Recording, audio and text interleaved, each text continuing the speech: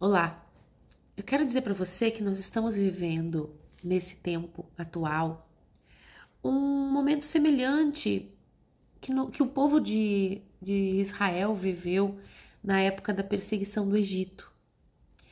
A, a psicogenealogia ela trabalha com a síndrome de aniversário. Uh, na, na história da humanidade, nós também repetimos dramas, traumas. E a gente lembra, quem estuda um pouco a Bíblia, né? Minha família é de família adventista, eles abrem igrejas, né? Tem cultos todos, toda semana, leitura e interpretação da Bíblia todos os dias. Cá estou eu fazendo isso aqui à luz da Kabbalah, claro, é uma outra ótica. Mas a gente vem fazendo a mesma coisa também. E aqui fica uma reflexão desse, dessa caminhada né, proposta recentemente, na qual eu tenho um projeto de um livro chamado Fé com Lê, Lê com Fé. Para gente ler isso com entendimento, ler acreditando, ler entendendo, porque às vezes a leitura da Bíblia parece uma leitura distante de nós. E esse livro, Êxodo, ele significa vem, ele significa. É estranho porque quando você quer sair de uma prisão, parece que você precisa sair de. E nesse livro, Deus diz assim: vem. Essa, esse livro na, no hebraico chama Bo, e Bo significa vem. É como se Deus dissesse: entra, entra, vem, vem aqui, esteja comigo, te unifica comigo, veja essa programação. Isso a gente fala que essa interpretação profunda que é só dos textos bíblicos, ela nos proporciona reflexões à luz do Espírito. E teu, o teu coração diz: Isso faz sentido. Só que a Bíblia é um livro para ser lido e interpretado à luz do Espírito e não à luz da mente consciente.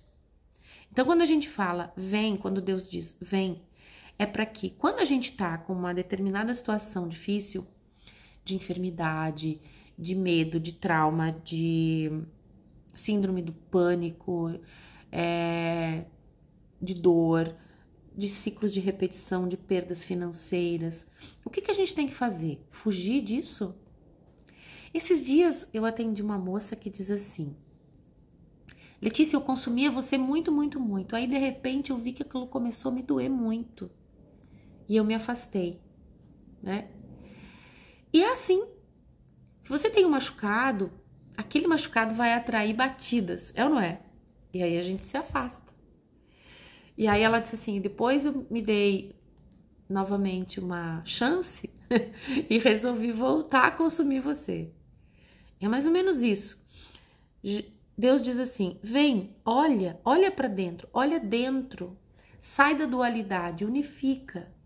Compreende o que, que te rege, compreende o que, que te governa, compreende quais são os teus medos, quais são as bases dos teus medos. Como fazer isso? Bom, psicogenealogia é uma das ferramentas, porque você compreende a tua mente a partir da mente inconsciente, que é 95% da tua mente. E ali tem todo um programa ancestral que determina eh, o que você gosta, não gosta, os teus medos, inseguranças, o para que você veio na família, tá tudo ali. Então, fazendo essa reflexão, né, de Êxodo 1, que é esse livro que fala desse movimento, né, de, de ir e vir, inclusive lá em Êxodo está escrito, Êxodo 1, fala das doze tribos de Israel. Você sabia que cada um de nós tem a sua alma na raiz de uma tribo? Nós, essa tribo, ela tem uma. As tribos de Israel tem uma característica, cada uma delas. E nós pertencemos a uma das tribos de Israel. Esse é um momento para a gente falar é, mais à frente. Mas o que eu quero ler para você hoje, jogo rápido, até porque essa proposta aqui é uma reflexão rápida, diária, de um alimento que a gente precisa hoje. Porque nós estamos vivendo um tempo onde o ser necessário no futuro, onde a gente está vendo máquinas, robôs, inteligência artificial. O ser necessário do futuro vai ser aquele que tiver inteligência emocional e espiritual para fazer, para se colocar a serviço da vida, para ser para o outro, para gerir as emoções, porque é essa a função, né? Nós estamos saindo dessa, desse tempo serviçal, inevitavelmente, isso é um movimento sem retorno dos robôs, e os robôs fazem o quê? Aquela coisa mais operacional. Então, na verdade, eles, essa, esse novo movimento atual está nos chamando para que a gente se eleve, saia do movimento braçal e se eleve né? Deixe de fazer funções, muitas vezes, uh, que são braçais, que são materiais, que são é, feitas por alguém que pode é, ascender é, intelectualmente, emocionalmente, espiritualmente. Então, o movimento da vida também é um movimento de impulsão do nosso eu. E aqui na, em Êxodo 1, né, tem uma história onde nessas tribos ah, nasceu o povo de Israel e esse povo é um povo transformador e tudo que toda luz que emana ela atrai o respectivo lado sombra. Basta ver que durante a pandemia a gente viveu um tempo onde muitas pessoas começaram a estudar a mente humana, né, as questões espirituais. Nós nunca crescemos em um período tão rápido quanto nós crescemos numa pandemia. Muito bem, e aí nós atraímos o respectivo lado sombra para reparar, para reparar.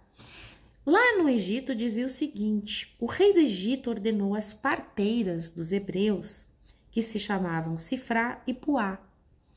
Quando vocês ajudarem as hebreias a dar à luz, verifiquem se é menino. Se for, matem-no. Se for menina, deixem-na viver. Isso tudo porque naquela época o homem tinha o trabalho braçal, era o que pensava, que tinha acesso ao conhecimento. Trazendo para os dias de hoje, o nosso, o nosso menino é o nosso masculino, nosso movimento de ir, movimento de fazer, nosso movimento feminino, o movimento de receber. Então, atenção, a gente também pode refletir em relação ao que nós estamos vivendo hoje, ao nosso masculino, ao movimento de receber.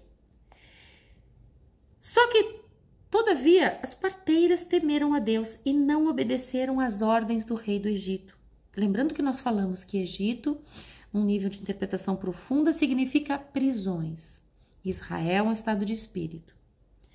Ela de, elas deixaram viver os meninos, mas o mais bonito segue aqui na frente, olha só. Então o rei do Egito convocou as parteiras e lhes perguntou: Por que vocês fizeram isso? Por que deixaram viver os meninos? Responderam as parteiras ao faraó: As parteiras hebreias não são como as egípcias. São cheias de vigor e dão à luz antes de chegarem as parteiras. Deus foi bondoso com as parteiras e o povo ia se tornando ainda mais numeroso, cada vez mais forte.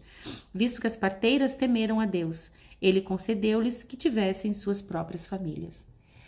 Bonito nesse texto é de que o seguinte: as parteiras ou as mulheres, porque eram parteiras hebreias, elas davam a luz antes do parto. Vamos fazer uma interpretação profunda em relação a isso. Vou repetir essa frase. Elas davam a luz antes do parto. Eu que falo do projeto Sentido Gestacional, que é o projeto que cada um de nós passa daquilo que é projetado para nós psiquicamente, emocionalmente, na hora do parto, né? A nossa, nossa missão de vida, o download das programações que acontecem naquele momento, que nos condicionam. Então, a condição do nosso pai, da nossa mãe, nesse parto, é, é também um programa ancestral. Então, quando a, as parteiras desobedeceram e as mulheres hebreias davam a luz antes das parteiras, quer dizer que a gente pode ter discernimento, dar à luz é ter discernimento antes do processo material. Esse dar à luz é muitas vezes o entendimento do espírito, deixar de sair do automatismo das prisões do Egito e começar a se mover à luz do espírito, para que você tenha esse livre-arbítrio e esse movimento, que é um movimento é, individual, que é um movimento que você toma o leme da tua mão, da tua vida nas mãos, você precisa ter conhecimento. Então elas sabiam que havia uma perseguição e atuaram, né, dando a luz, dando a luz, ganhando as crianças, mas também dando a luz a nível de espírito. Fazendo um resumo de tudo isso que a gente falou, a reflexão hoje é: para que eu pare de ter medo, para que eu pare de repetir as mesmas coisas, eu preciso ter conhecimento. E antes desse processo de perda, de separação e de dor, eu preciso dar a luz a mim mesmo. Essa é a reflexão do dia de hoje. Desejo que você tenha um dia maravilhoso e esse vídeo vai para o YouTube no projeto, na playlist Fé com Lê, Lê com Fé. Até amanhã.